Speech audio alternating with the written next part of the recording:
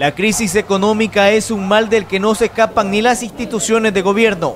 La falta de recursos para atender las necesidades de la población son cada vez más agobiantes.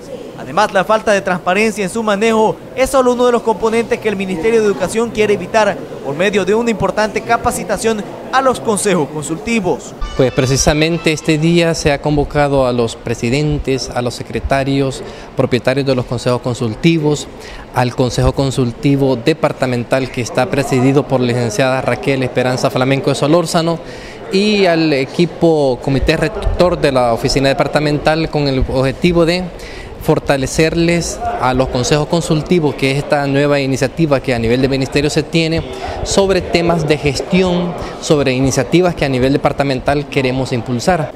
Y es que el Ministerio de Educación quiere dar las herramientas a los directores y sus consejos consultivos para que estos puedan gestionar recursos fuera del ministerio, sea esto por medio de ONGs o alcaldías y otras dependencias de gobierno. Por ejemplo, este, nosotros estamos buscando que a nivel departamental se, se realicen, por ejemplo, acciones de transparencias, se, se profundice un poco, se hagan reflexión sobre lo que es la ley Lepina, que las comunidades conozcan, que se capaciten a los consejos consultivos, que se hablen, por ejemplo, del avance que tienen en cuanto a los programas educativos.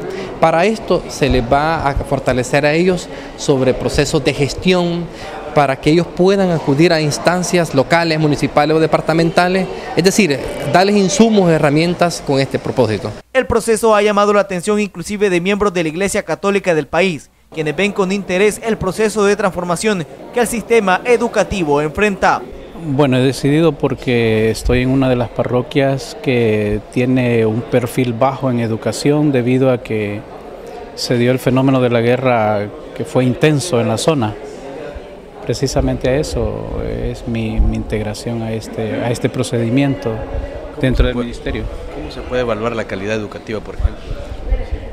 Eh, la calidad educativa es, es bien, es buena. Los procesos que se llevan para con los maestros es bueno. Eh, quizás lo que habría que hacer es profundizar desde la base para agilizar el procedimiento intelectual de los niños y de los jóvenes.